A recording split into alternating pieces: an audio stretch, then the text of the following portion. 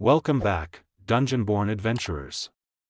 If you're encountering the please launch the game through Steam error code, 17 Steam AP underscore init failed error, we've got you covered.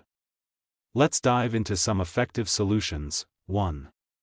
Run the game as an admin, go to the games folder, find its executable, .exe, file, right-click on it, select Properties, navigate to the Compatibility tab, and check Run this program as an administrator. 2. Update Steam and Game, ensure both Steam and Dungeonborne are updated to the latest versions to avoid compatibility issues. 3. Repair game files, go to Steam Library, right-click on Dungeonborne, select Properties, go to Local Files, and click on Verify Integrity of Game Files. This will fix any missing or corrupted files. 4.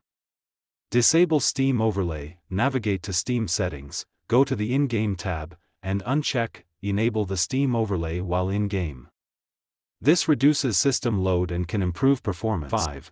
Disable Full Screen Optimization, Cut Property go to the Compatibility tab, check Disable Full Screen Optimizations, then click Apply and OK. Hopefully, one of these methods resolved the error for you. Let us know in the comments which method worked. Don't forget to like, subscribe, and hit the bell icon for more Dungeonborne tips and tricks.